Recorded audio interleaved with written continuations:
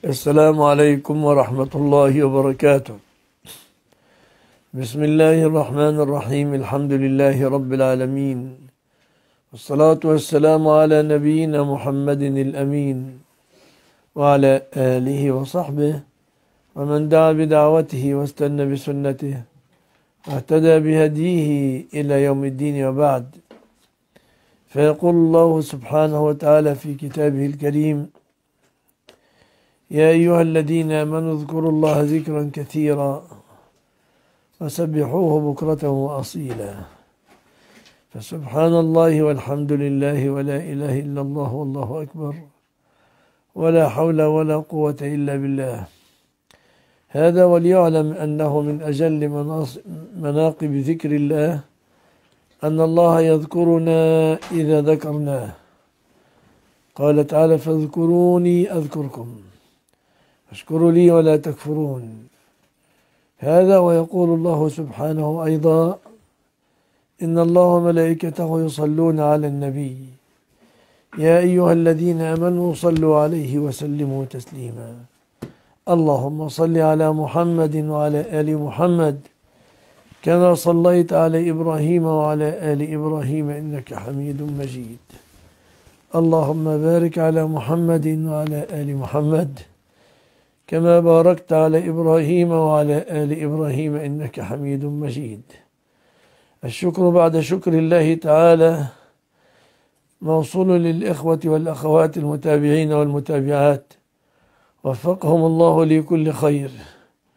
وكذا فإنه موصول لإخواني الذين يبذلون جهدا لإخراج المجلس لإخوانهم.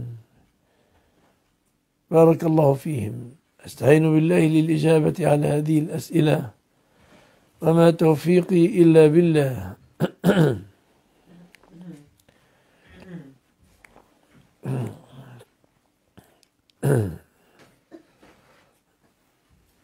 نعم.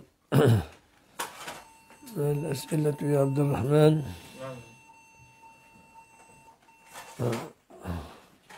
اقرأ الأسئلة التي علمني رسول الله تسعة عشر كاملة تسع عشر كلمة. حديث علمني رسول الله. تسعة عشر كلمة وتسع عشرة كلمة. لا أعلم له سندا. بارك الله فيكم. نعم. نعم. ما حكم إعفاء أصحاب المكتبات من وضع تسعير للكتاب قبل الخصم وبعده؟ الكتاب أصلا مستحيل يكون سعره كده. ولا يسأل عن حكم يصنعها أصحاب المكتبات من وضع سعرين على الكتاب قبل الخصم وبعد الخصم والكتاب مستحيل أن يكون سعره هكذا. يعني إنهم مثلا يقولوا الكتاب في الحقيقة لا يساوي مئة فيقولون سعر الكتاب قبل الخصم سعر الكتاب قبل الخصم ثلاثمائة وبعد الخصم مئة وخمسون. فيغررون بالمشتري يغررون بالمشتري. فيتوهم أنهم أحدثوا خصما قدره خمسون بالمئة. هذا لا يصح لأنه تدليس وإيقاع للناس في الغرض كأنه يدخل يعني ليس صريحا لكنه لاحق بالنكش في البيوع. والله أعلم. يعني الكتاب لا يباع أصلا بثلاثمائة.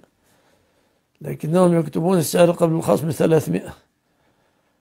ويبيعونه بمئة وخمسون. وبعد الخصم فأنا أتوهم أنهم فعلا خفضوا مائة وخمسين.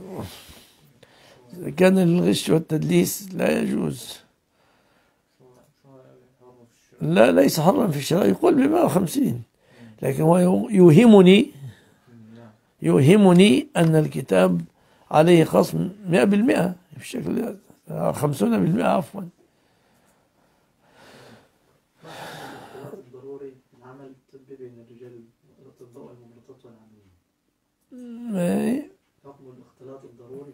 حكم الاختلاط الضروري أما أنت كرجل ممكن تكون مضطرا لأنه تفرض عليك ممرضات وطبيبات. أما الطبيبة فالأصل القرار في بيتها و لا, لا, لا تخلو تحرص على عدم الخلوة.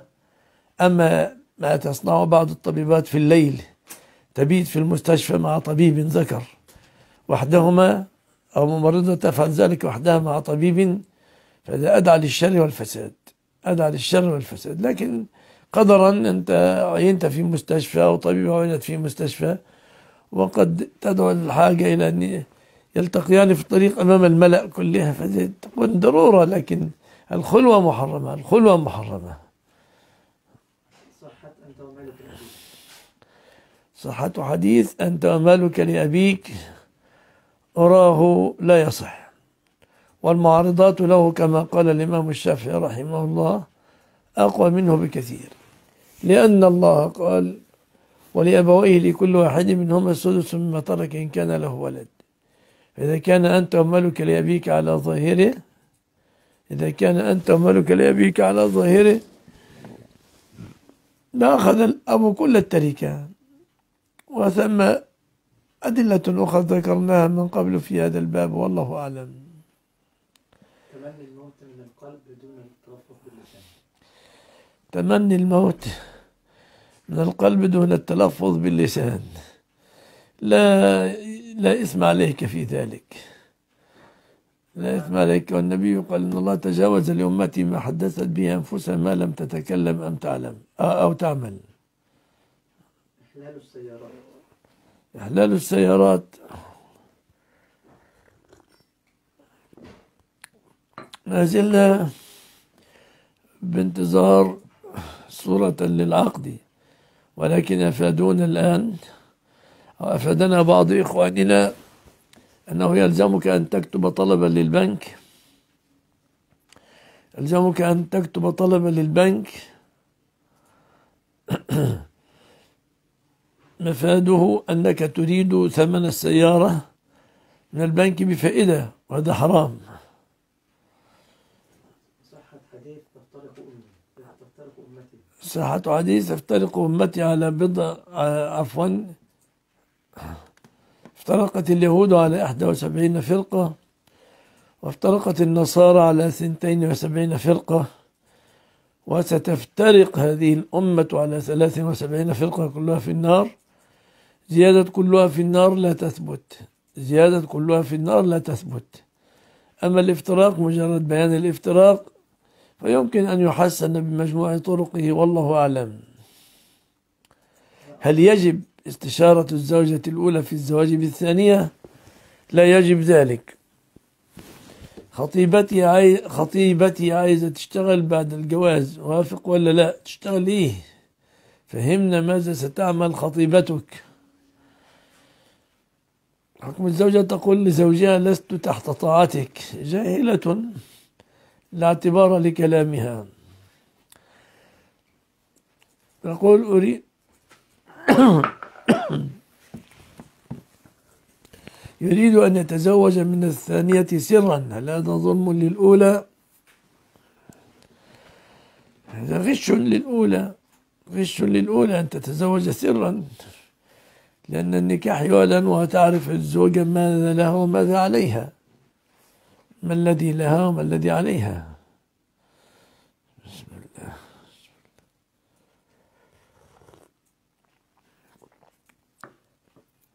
هل اتفق العلماء على حد اللحية الذي يتم به الواجب من ناحية طولها؟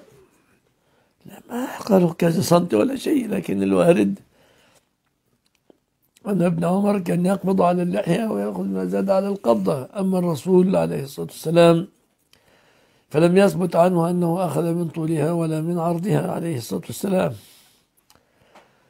الصلاة بالبنطلون صحيحة أو تأثم؟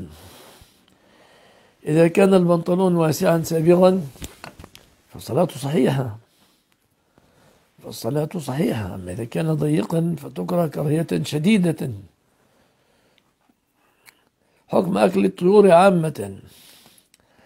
الطيور إذا كنت تقصد التي تطير فإن النبي صلى الله عليه وسلم حرم منها كل ذي ناب.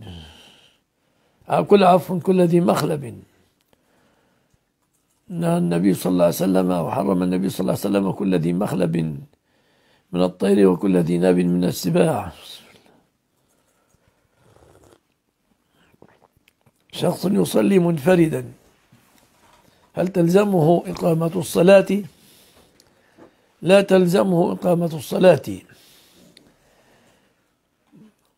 هذا وقد قال رسول الله صلى الله عليه وسلم في شأن الصلاة عموما تحريمها التكبير وتحليلها التسليم. تحريمها التكبير وتحليلها التسليم.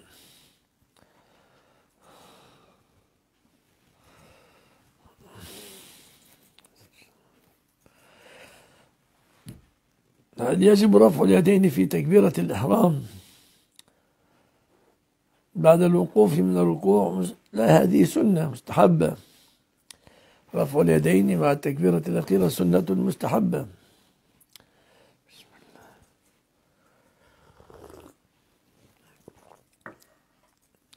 امرأة ترضى ابنها ثم انقلبت عليه وهي نائمة فمات فما حكمها؟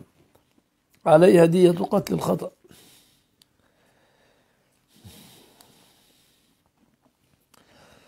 عدم لبس النقاب للمرأة.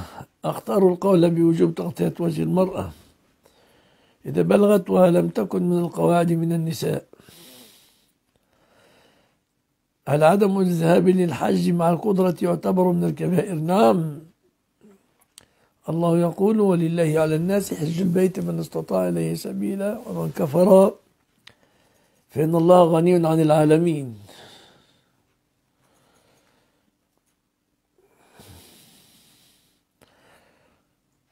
لو تاجر أخذ مبلغا من المال من شخص.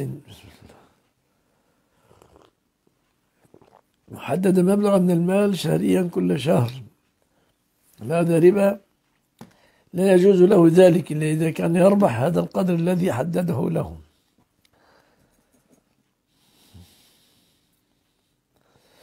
هل يجوز للورثة الانتفاع بمال أبيهم الذي كان موضوعا؟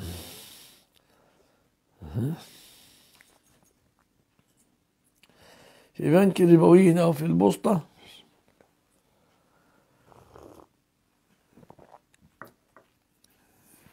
يأخذون الأصل ويتخلصون من العائدة الربوية.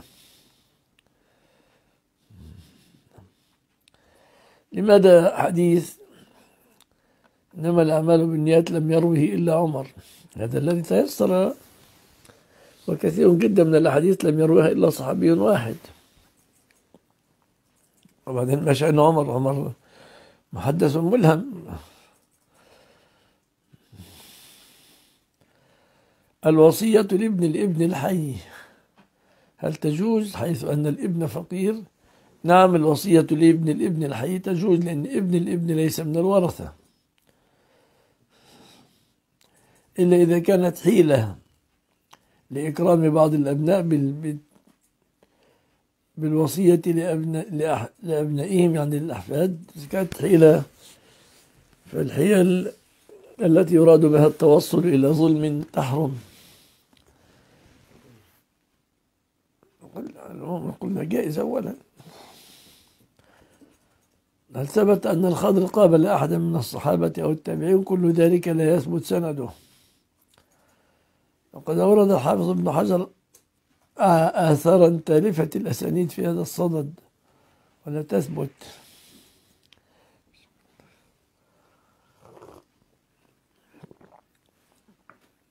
لو ساعدت بنتي في تربية الأطفال من أكل ولبس وبقول هي لله هل هي أجر؟ نعم لك أجر قال رسول الله صلى الله عليه وسلم لك في كل ذات كبد رطبة أجر وقال الله تعالى في كتابه الكريم فمن يعمل مثقال ذرة خيرا يره.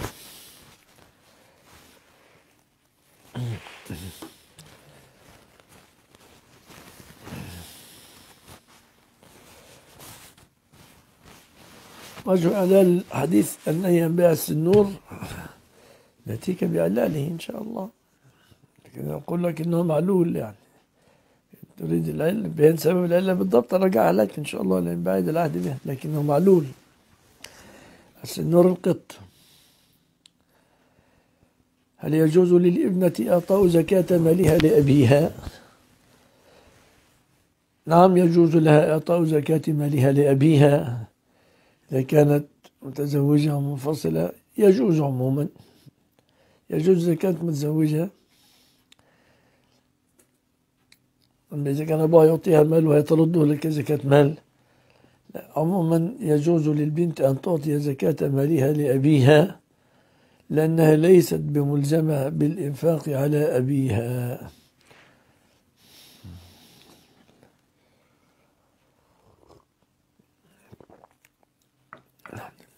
حديث من بنى لله مسجدا بنى الله له بيتا في الجنة. أما زيادة لا يذكر أما زيادة يذكر اسم يذكر الله فيه. فبالتبع لأن المساجد هذا شأنها لكن من ناحية الإسنادية حديث من بنى لله مسجدا بنى الله له بيتا في الجنة حديث متواتر. بارك الله فيك يا أخت رقية. حديث إن العالم يستغفر له من في السماوات ومن في الأرض حتى الحيتان في البحر في سنده ضعف.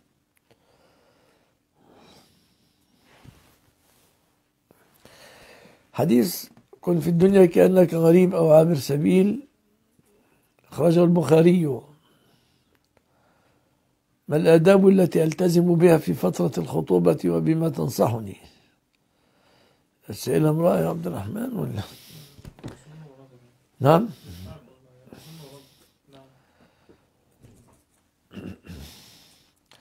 على العموم الخاطب ما زال رجلا أجنبيا فلا تنشغلي به كثيرا لا تكلميه كثيرا إلا عند الضرورات وفي المعروف. لا تؤخر الجنازة إذا حضرت. لا يصح كحديث لا يصح. قضية عدم السماع. رفع الله قدرك يا عزت. فاك الله يا دكتور عمرو بارك الله فيك. حديث حقت محبتي وفي رواية وجبت محبتي للمتحبين فيها صحيح. حديث اتقوا الملاعن الثلاثة فيه مقال والثابت حديث اتقوا اللاعنين الذي يتغوط في طريق الناس وفي ظلهم. يعني يقضي حاجته في ممر الناس. براز أو يقضي حاجته في المكان الذي يجلس فيه الناس يستظلون به. لو اجتمع اثنان عند الباب نقدم اليمين أو الأكبر الأمر فيه ساعة. وإذا قدم الكبير لك وجه وإذا قدم الأيمن لك وجه الأمر فيه ساعة. هل ممكن أن يتسبب الجن في مرض الإنسان؟ كل شيء بإذن الله. قد قال أيوب عليه السلام ربي إني مسني الشيطان بنصب وعذاب. وكل ذلك بإذن الله.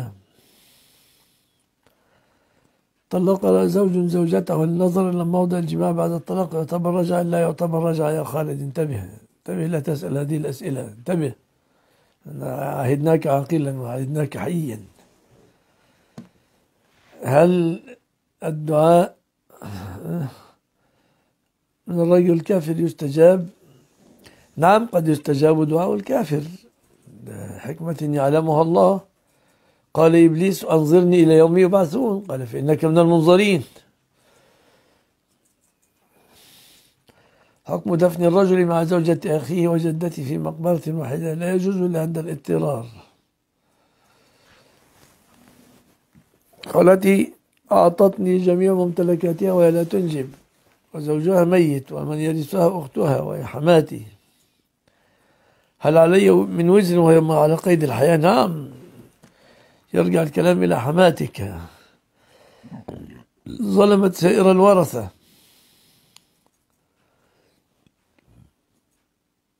هل يجوز الذهاب مع البائع لشراء السلعة؟ يجوز أخذها منه بعد الشراء. هذه حيلة مقن من حيل الربا. ربا مقنعة.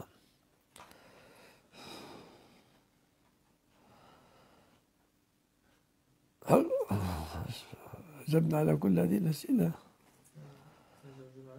نعم نعم.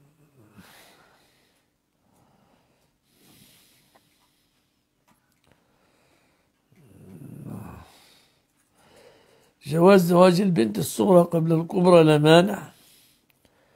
إني أريد أن أنكحك أحد ابنتي هاتين ولم يعهد أنهما توأم. لم يذكر أنهما توأم.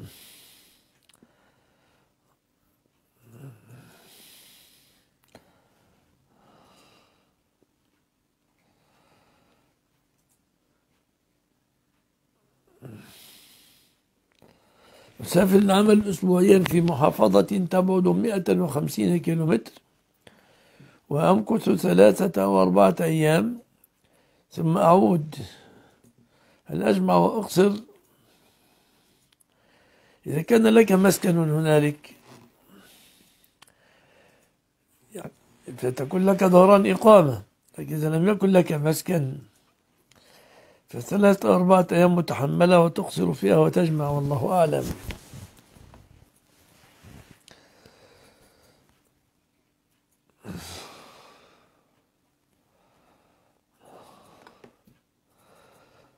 حكم الحساب الجاري بالبنك. الحاصل أنك لا تأخذ مالا لنفسك. لا تأخذ من البنك عائدة ربوية لنفسك.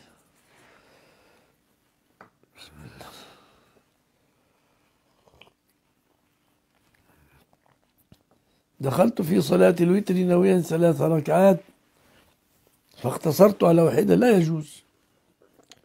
إنما الأعمال بالنيات. وعليك إعادة الصلاة.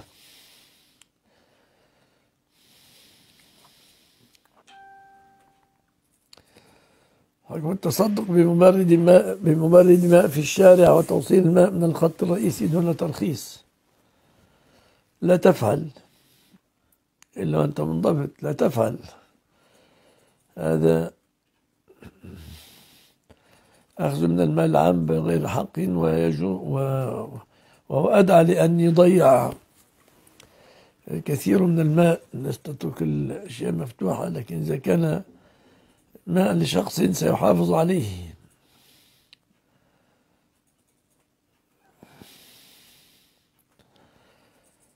طلب طلبت مني أن أسمح لأخي بأن يبني فوقي فرفضت.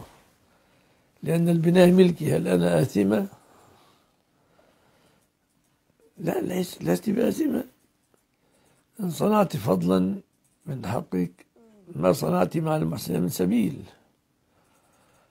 مساجد فيها خطباء يقولون ما لا يكتبون من عند أنفسهم هل يجوز؟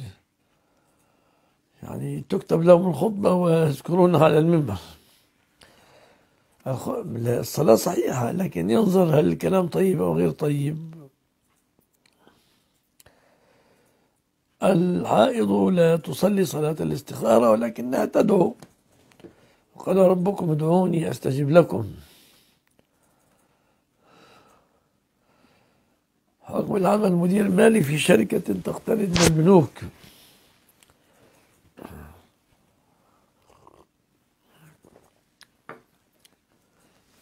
بأس المدير المالي. ليس هو الذي يتخذ قرارات الاقتراض من البنوك إنما الشركة تفرض عليه ذلك. إذا كان مضطرا لا يسمع عليه إذا كان هو الذي يتخذ القرار فيأثم. بارك الله فيك يا محمد بن فاروق. نويت صلاة الظهر قصرا في السفر. هل يجوز أن أتمه أربعا أثناء الصلاة؟ ما السبب؟ أرى أن ذلك يكون إذا إذا صليت وراء إمام متم. يعني إذا نويت أن تصلي ركعتين وراء إمام وأنت لا تدري تظنه مسافرا تظنه مسافرا. ف فوجئت أنه يصلي أربعا. أتمم معه سئل ابن عباس يا ابن عباس ما بالنا إذا صلينا فرادى صلينا أربع ركعات؟ عفوا ما بالنا إذا كنا مسافرين؟ نصلي ركعتين إذا صلينا فرادى. وإذا صلينا مع الإمام صلينا أربعة. قال تلك سنة أبي القاسم صلى الله عليه وسلم. الأخ رمزي أبو الياس يقول لماذا حضرتموني؟ لم يتم حظره لم حظرك بس اسمه ما ظهر. ما شاء مش عارف. يمكن واحد آخر ما اذكر اسمك. أحسنت. خالد الدقاق تفطن لما تفطنت له يا عبد الرحمن. بس يمكن واحد ثاني يرسل من خلاله.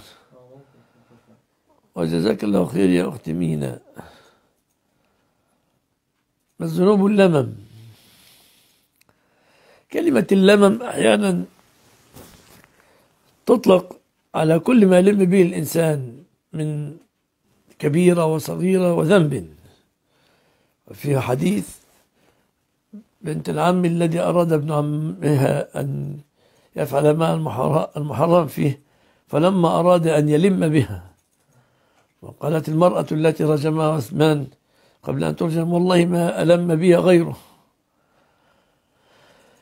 لكن اللمم المذكور في الآية الكريمة الذين يجتنبون كبائر الإثم والفواحش إلا اللمم فاللمم هنا المراد به ما دون الكبائر. قال ابن عباس رضي الله تعالى عنهما ما رأيت أشبه باللمم مما قاله أبو هريرة عن رسول الله صلى الله عليه وسلم كتب على ابن آدم نصيبه من الزنا مدرك ذلك لا محالة. العين تزني وزناها النظر اللسان يزني وزنه الكلام الحديث. هذا اللمم.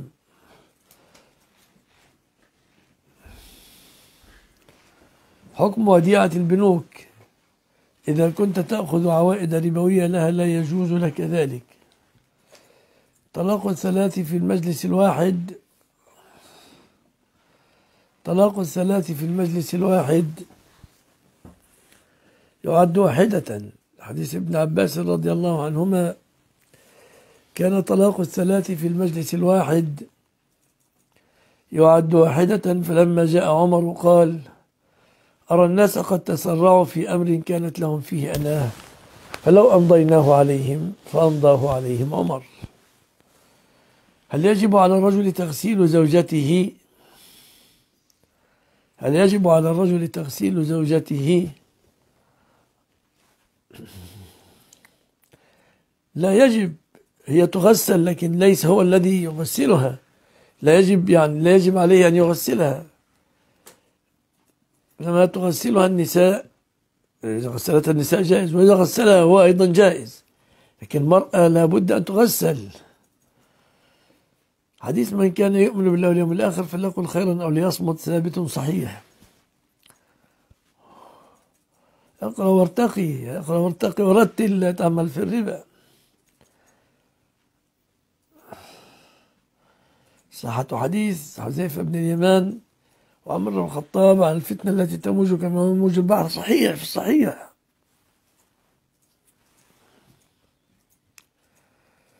آه. هل يقع الطلاق إذا تلفظ الزوج بدون أن يسمع أحدا حتى زوجته ولم يخبرها؟ يعني هذا رجل مريض إذا كان مريض موسوس.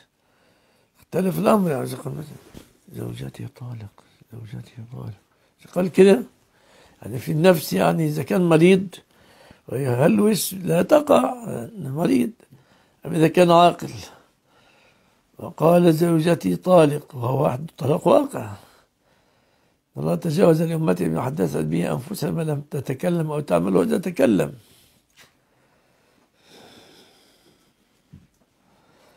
حكم التربع من اليوتيوب. التربع من اليوتيوب يستلزم أن تعرض إعلانات قبيحة وغير قبيحة على موقعك لست بمخير. فلا نرى أن نبث المعاصي مقابل أموال.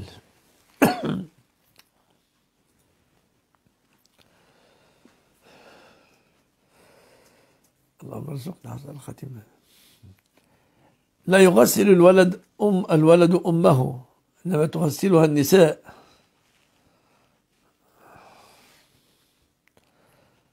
البنت اسمها منة وليست إيه؟ مينا ها؟ وليست مينا. مي مينا؟ لا ما في ما في تاء في الاسم. إلا إذا كانت فرنسية ما أدري. مينا؟ من المتكلم؟ هي ولا غيرها؟ غيره ما زلت على رأيي حتى أسمع.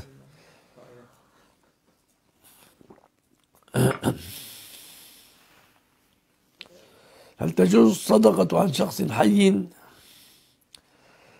تجوز. أمي توصيني بحضور غسلها هل يجوز؟ أنت رجل لا تقف وسط النساء. عيب عليك أن تقف وسط النساء. آه.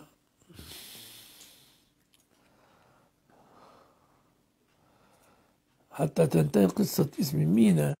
هذا مينا مكتوب مينا. ليس فيها تاء. هل الميت الصالح يعلم شيئا عن أهله بعد موته؟ لم يرد ذلك. بل ورد خلافه. وكنت عليهم شهيدا ما دمت فيهم. فلما توفيتني كنت أنت الرقيب عليهم. وأنت على كل شيء شهيد. يقول نعم. عفوا. طيب حتى لكن بضميمة أخرى يا يحيى. كنت علي كنت عليهم شهيدا ما دمت فيهم. فلما توفيتني والرسول يقول في الحديث إنك لا يقول يا رب أصحابي أصحابي يقول إنك لا تدري ما أحدث بعدك. فأقول سحقا سحقا لمن بدل بعدي وأقول ما وكنت عليهم شهيدا ما دمت فيهم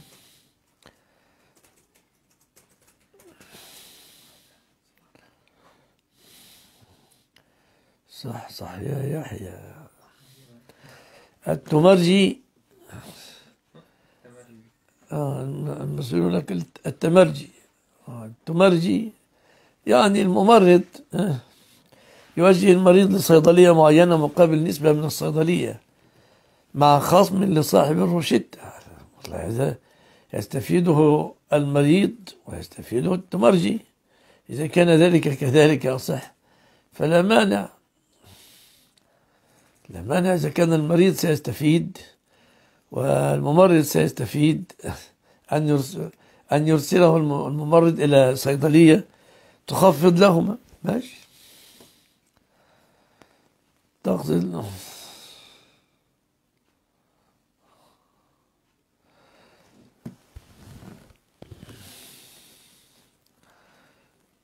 ما الكفارة لرجل قال لزوجته تحرمين علي لو فعلت كذا ثم رجع في يمينه. يكفر كفارة يمين. يقول حكم الصلاة وعلى, وعلى الثوب دم وصديد الصلاة تصح مع الكراهة.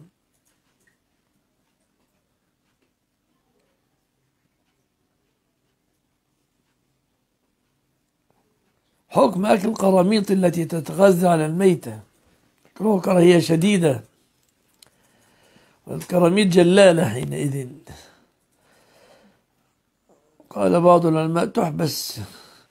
في ماء وتطعم طعاما نظيفا حتى يذهب عنها القذر الذي في بطنها. هل يجوز أن نقول في التشهد السلام على النبي بدل السلام عليك أيها النبي؟ هذا رأي شاذ. قد تقلده بعض المعاصرين كالشيخ ناصر الألباني رحمه الله وينقل عن ابن مسعود رضي الله عنه لكن الصحيح كما قال ابن مسعود علمني رسول الله التشهد وكفي بين كفيه. كما يعلمنا السورة من القرآن في بعض الروايات. فنحن ملزمون بالذي علمه النبي صلى الله عليه وسلم الأبرى بما روى الرائي لا بما رأى.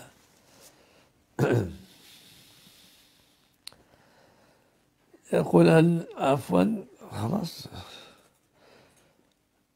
هل تعتبر شريعة نبي الله موسى لنا شريعة على قصة بناته؟ يقول الله لكل جعلنا منكم شرعة ومنهاجا.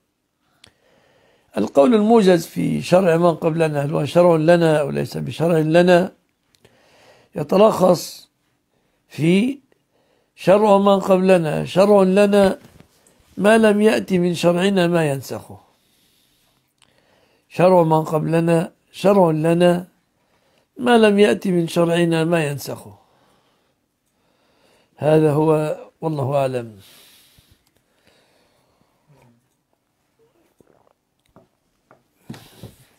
عملت عقيقة لابنتي وذبحت عجل وزعت على الفقراء المساكين هل ده صح أم كان الأحسن طبخه؟ لا كله جائز يا سيدي الشرفين كله جائز. سواء وزعت الطعام نيئا أو وزعته مطهيا سواء دعوت الناس سواء أرسلت إلى بيوتهم كل ذلك جائز. بل إن الإمام مالك رحمه الله يرى أن من الأفضل أن ترسل إلى بيوتهم ويقول لم ينقل جمع الناس على العقيقة كما نقل جمع الناس على الوليمة.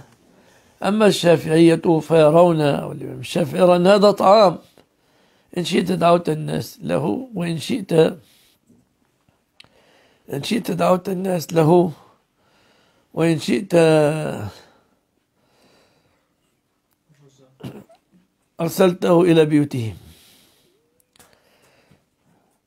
هل يجوز سجود المرأة على خمارها التي تلبسه وهي تصلي يعني السجود على متحرك. يا حبيبي ما هو متحرك هذا؟ الحمار الخمار ما هو متحرك. كيف خمار متحرك يعني؟ ظننتك تسأل هذا السؤال من أيام آه، تعني شيء آخر. يعني يقول الخمار ممكن تشده. الخمار جائز أن تسجد عليه. قال أنس كنا نتقي حررا ضئب العمائم. حكم تأخير صلاة العشاء مستحب أم مكروه. يجوز تأخير صلاة العشاء ما لم تتجاوز بها نصف الليل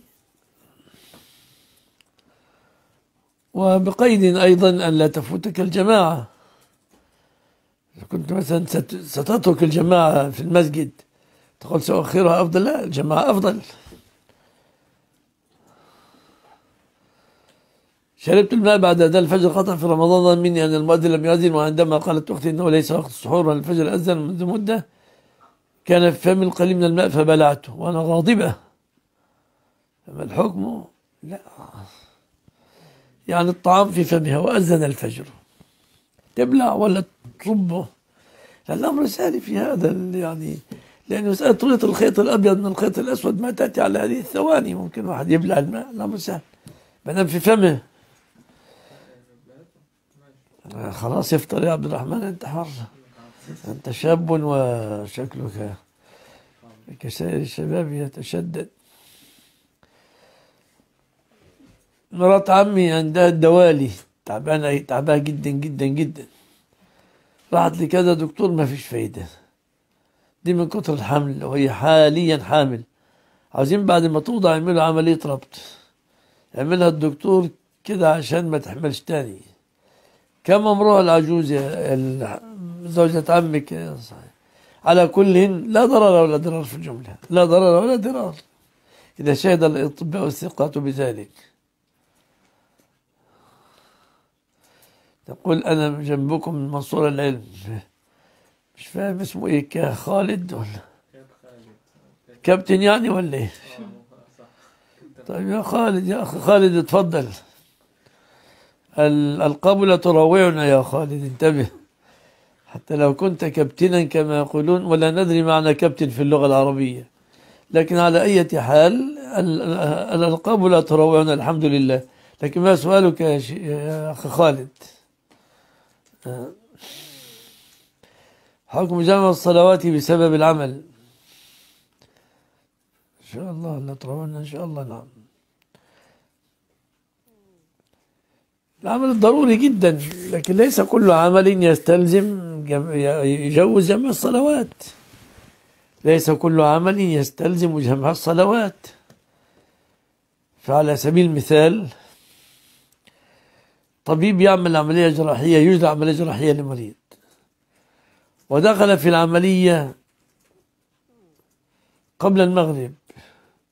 والعملية لا لا يستطيع أن أن يتركها إلا بعد العشاء بساعتين. فسنقول له اجمع بين المغرب والعشاء جمع تأخير ضرورة. هل ثبت عن عائشة الناس تعملت ماء وعليه ملح بعد أن ذهب من عندها الساحرة والساحرة؟ ما أعلم عنه أي شيء. لا أعلم له سندا ثابتا نعم.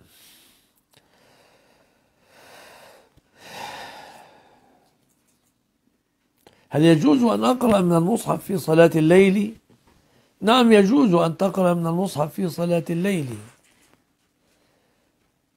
و و عائشة كان يأمها مولاها ذكوان من المصحف في رمضان.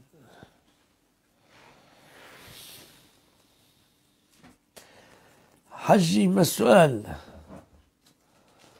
صليت ونسيت السجدة الأخيرة وتذكرت بعد السلام. نسيت السجدة الأخيرة وت...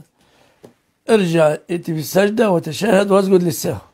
لكن إذا كانت السجدة قبل الأخيرة في ركعة ستأتي بركعة جديدة. هل أكل على الجنب حرام مكروه؟ على جنابة جنبي على جنابة تحتمل الأمرين. هذا الكلام مبني على حديث مبني على حديث أيأكل أحدنا وهو جنب قال نعم إذا توضأ والذي يظهر لي أنه شاذ أن اللفظ الأصح أينام أحدنا وهو جنب قال نعم إذا توضأ. فعليه الأكل على جنابة لا أرى فيه تحريما ولا كراهة إذا ثبت أن اللفظة شاذة.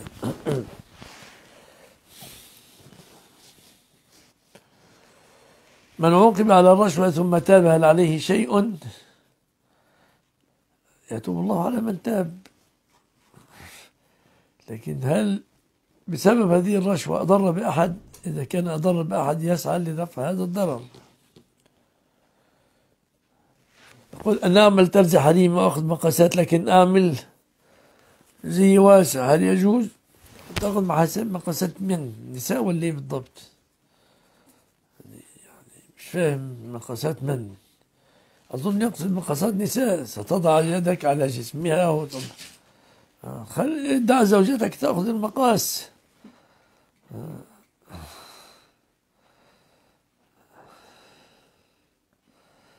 راتب المحاسب في البنك حلال أم حرام؟ قال رسول الله صلى الله عليه وسلم لعن الله أكل الربا وكاتبه وموكله. شهديه. واللفظة الصحيحة لعن الله أكل الربا وكاتبه. والثانية أيضا أظن لفظ مسلم لعن الله أكل الربا وكاتبه. نعم.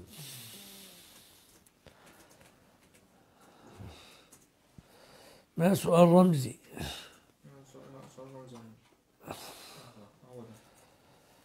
استقرض رجل سوارة ذهب مثلا خمسين جرام وسعرها ثلاثة آلاف دينار. موعد السداد كان سعر الخمسين جرام اثنين ألف دولار. اثنين ألف دينار. دينار؟ ماشي. استعار ذهبا يا رمزي يرد ذهبا. استعار خمسين جرام ذهب يرد خمسين جرام ذهب. بارك الله فيك.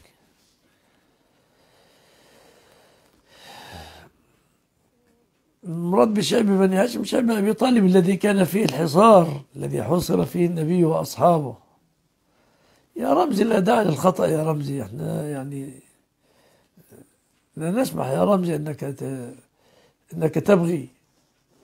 إذا بغيت علينا لن نبغي عليك لكن سنبتعد عنك وتبتعد عنا.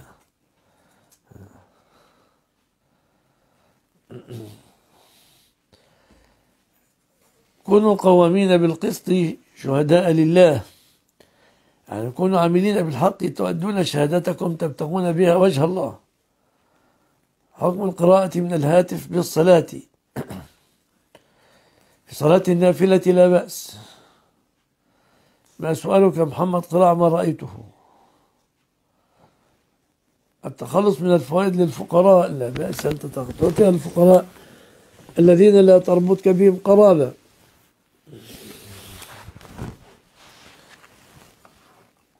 حكم صلاة الظهر والعصر في المكتب في العمل جماعة مع المتواجدين من الزملاء. إذا كان لا يسمح لكم بالخروج إلى المسجد جاز لكم أن تصلوا في مكان العمل جماعة. هل القدرة قبل الحيض تعد منه؟ لا. لأن الحيض هو دم. فإذا لم ينزل الدم لا تمتنع.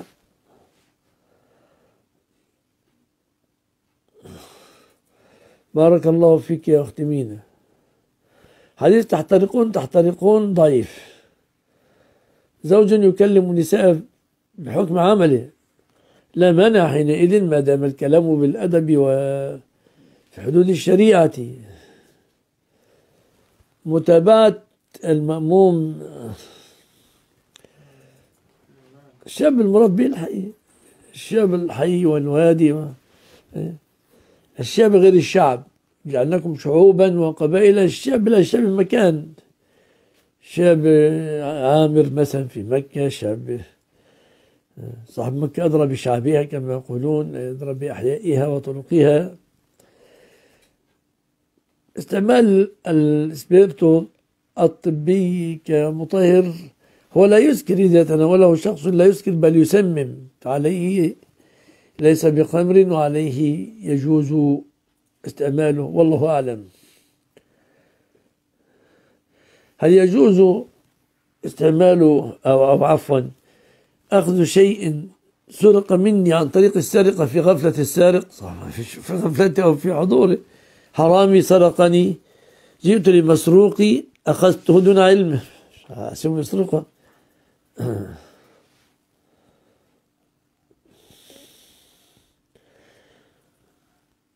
لماذا أخفى أبو هريرة رضي الله عنه بعض الأحاديث النبوية؟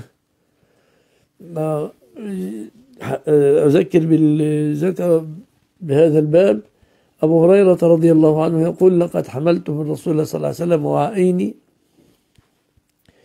أما أحدهما فبثثته وأما الآخر فلو بثثته لقطع مني هذا البلعوم هذا ثابت صحيح لكن قال العلماء والأئمة إن أبا هريرة لم يكن ليكتم علما نافعا للناس فإن النبي صلى الله عليه وسلم فإن الله قال وأبو هريرة يعرف هذا هذه الآية وقد ذكرها في مواطن إن الذين يكتمون ما أنزلنا من البينات والهدى من بعد ما بيناه للناس في الكتاب أولئك يلعنهم الله ويلعنهم اللاعنون أبو هريرة ذلك لكن العلم الذي كتمه عمر كان يتعلق بأسماء أمراء السوء ولو كان تكلم لحدثت فتنة. فبعض العلماء يقولون إنه كان يتعوذ بالله من إمارة الصبيان إمارة الصبيان بني أمية. كان يقول اللهم إني أعوذ بك من رأس الستين وإمارة الصبيان. هذا قاله بعضهم. لكن هو على هذا حمل العلماء العلم الذي كتمه أبو هريرة علم يتعلق ببيان أسماء إمراء السوء وكان سيولد فتنة ولن يولد نفعا. هل يجوز قيام في بلد الغرب وأنا متثبت من ديني؟ نعم. إذا كنت متس... يعني قيما على دينك حافظا لدينك حافظا لحدود الله وليس عليك ولا على أولادك ضرر جاز لك أن تقوم هناك. حديث أنا بريء. من المسلم يعيش بين ظهراني المشركين لا تتراءى نارهما لا يثبت. حديث أنا بريء. من المسلم يعيش بين ظهراني المشركين لا يثبت. الذي فيه لا تتراءى نارهما حديث التمس لأخيك سبعين عذرا فإن لم تجد فلا تلومن إلا نفسك. لا صح.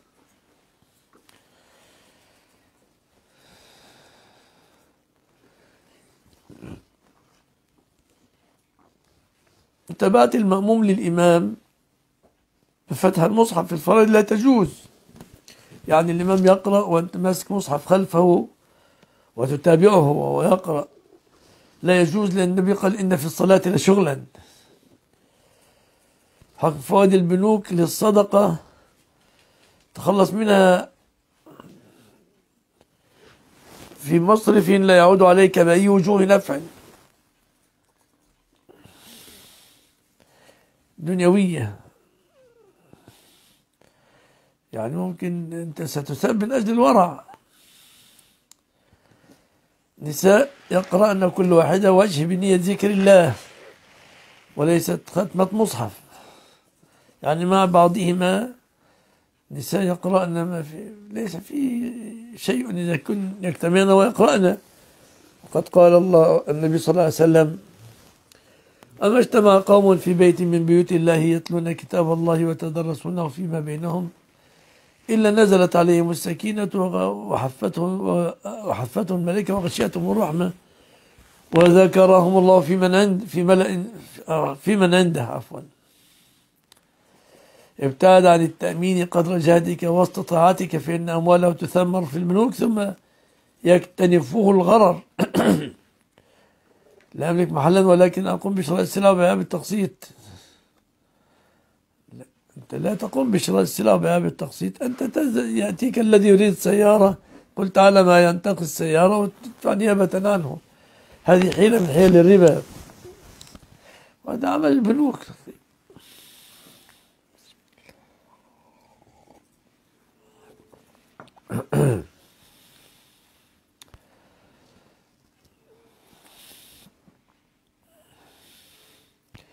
شكرا محمد الصقر بارك الله فيك. هذا هو يا محمد الصقر سلمك الله. حفظك الله يا أبا محمد. هل تصح صلاة رجل؟ عفوا.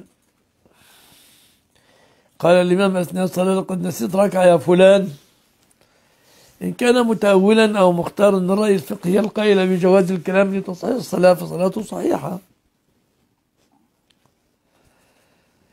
لأن هناك من العلماء مسألة هل يجوز الكلام في الصلاة لمصلحتها؟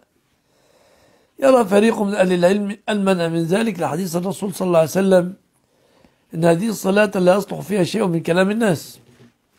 وبعضهم يقول كان هذا لمصلحة الصلاة جاز لأن النبي قال لما سلم من ركعتين وقيل له أقصرت الصلاة أم نسيت يا رسول الله؟ قال لم أنسى ولم تقصر. قال بل قد حدث شيء من هذا يا رسول الله. فسأل النبي أصحابه. حقا ما يقول ذو اليدين؟ قالوا نعم يا رسول الله. فقام وأتى بالركعات. فاعتبروها تخللت الصلاة. اعتبروها تخللت الصلاة. والمانعون يقولون وكان يستثبت.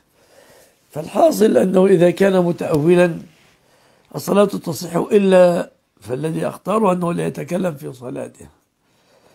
وقد أورد هذه المسألة ابن رشد رحمه الله تعالى في كتابه بداية المجتهد ونهاية المقتصد. بداية المجتهد ونهاية المقتصد. وأورد أقوال العلماء في ذلك وحجج العلماء في هذا الصدد. يعني مريضة وتيممت كثيرا وعلمت بعد ذلك أنه يلزمني الوضوء والمسح. لا خلاص اخترت برأي فقهي وارد في المسألة. لا تعد الصلوات.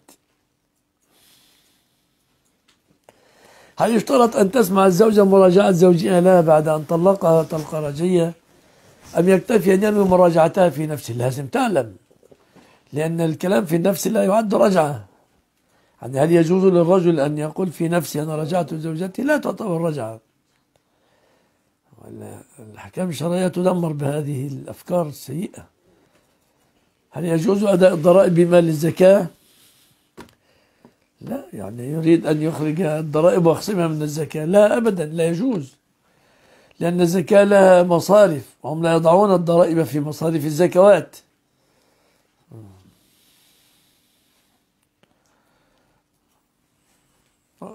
بعدين عائد عليك بالنفع الضرائب. لاجئ سوري هل له أن يقيم في أوروبا حتى تنتهي الحرب. له ذلك قلت في نفسي إن الله قال في نفسي إن الله أهانه.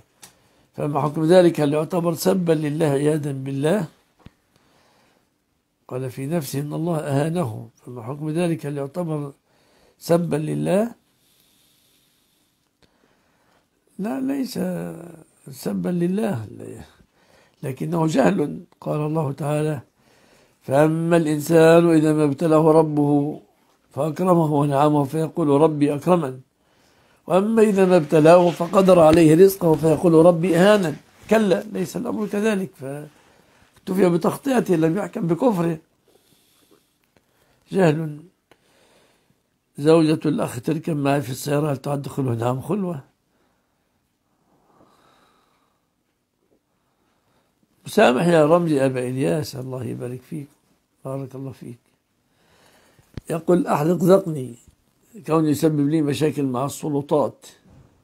الدولة التي أعيش فيها لأنه مذنب إذا كنت لن تتحمل الفتنة جاز لك ذلك. تستطيع أن تثبت ثبتك الله. هل تجب الضريبة على رجل يقيم في دولة أجنبية يؤدي زكاة ماله ولذا تهرب منها؟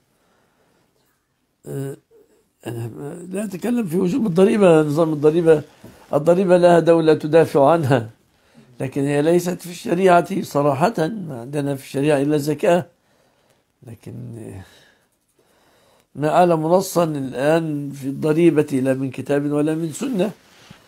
ولكن قد يدخلها بعض العلماء في هل في المال حق سوى الزكاة أم لا. تلك مسألة اختلاف بين العلماء.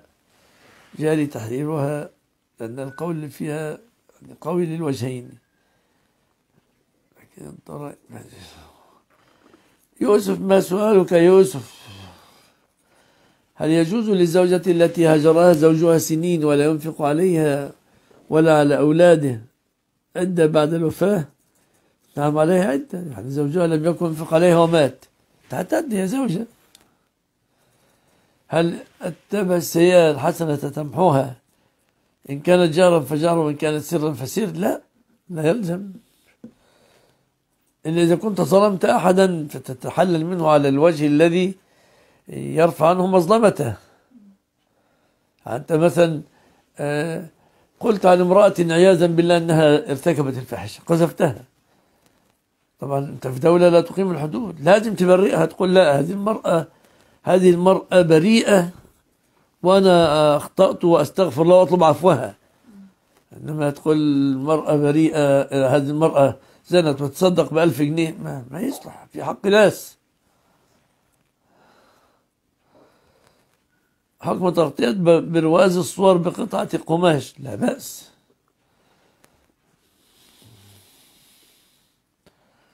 محمد قراءة فين سؤاله ماشي. هل تجوز صدقة؟ عن شخص حاجبنا بالجواز طبعا. حكم عدم الاغتسال بعد الجماع بالزوجة ليلا والتأجير للصباح ما لم يطلع الفجر جائز لكن النبي سئل عن هذا. أينام أحدنا وجنب؟ قال نعم إذا توضأ. كوبون التخفيض حلال أم حرام؟ هل أنت تشتري كوبون التخفيض أو ماذا؟ وضح الصورة.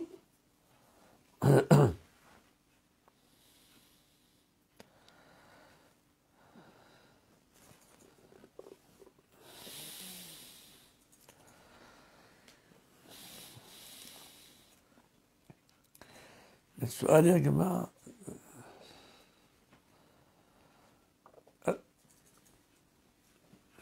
حفيدتي تجلس مكان السجود وأنا أصلي. هل صلاتي جائزة؟ الصلاة جائزة. كان الرسول صلى الله عليه وسلم يصلي وهو يحمل أمامه فإذا سجد وضعه وإذا قام رفعها. قراءة في نفسك مع إمام في الصلاة هل تجوز؟ قراءة في نفسك مع الإمام في الصلاة هل تجوز؟ رأي الصلاة الجهرية تقصد.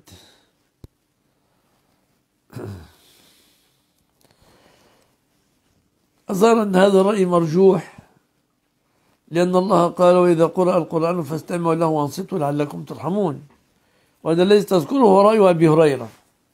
أن الإمام وهو يقرأ أنت تقرأ لكن في نفسك.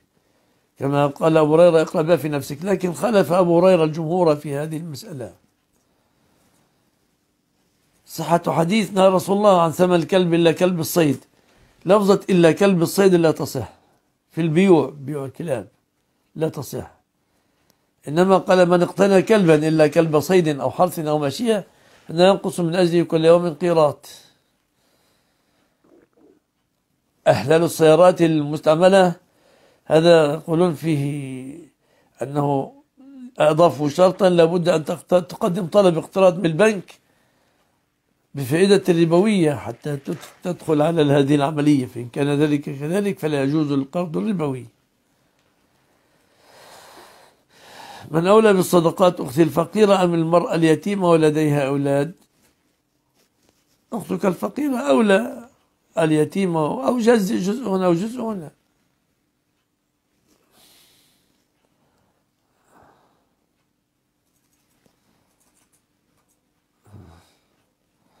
هل سماع خطبة الجمعة واجب؟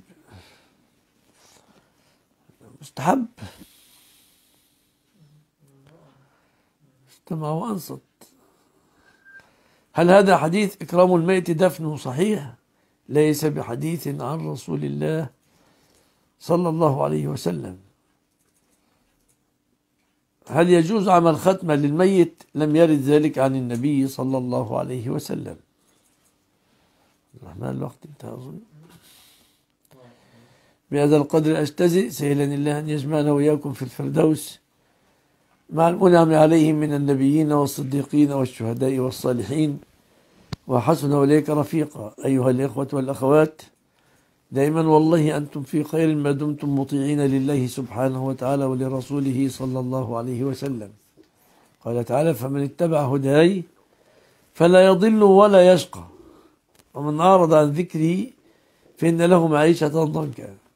الإخوة والأخوات احذروا من المذاهب الهدامة الوافدة من دول الكفر كالديمقراطية والاشتراكية.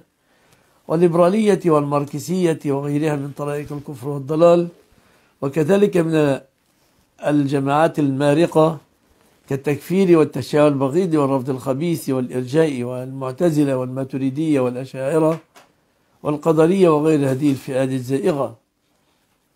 ختاما اذكروا الله يذكركم. اذكروا الله يذكركم واشكروه على نعمه يزيدكم فقد قال لئن شكرتم لأزيدنكم. قال من ذكرني في نفسي ذكرته في نفسي. واحمدوا الله كثيرا. قال تعالى ما يفعل الله بعذابكم إن شكرتم وأمنتم. والحمد لله هي كلمة كل شاكر. فاشكروا الله كثيرا. واذكروا مقولات الصالحين. رب أوزعني أن أشكر نعمتك التي أنعمت علي وعلى والدي. وأن أعمل صالحا ترضاه وأصلح لي في ذريتي. إني تبت إليك وإني من المسلمين. سبحانك اللهم وبحمدك. أشهد أن لا إله إلا أنت أستغفرك وأتوب إليك والسلام عليكم ورحمة الله وبركاته.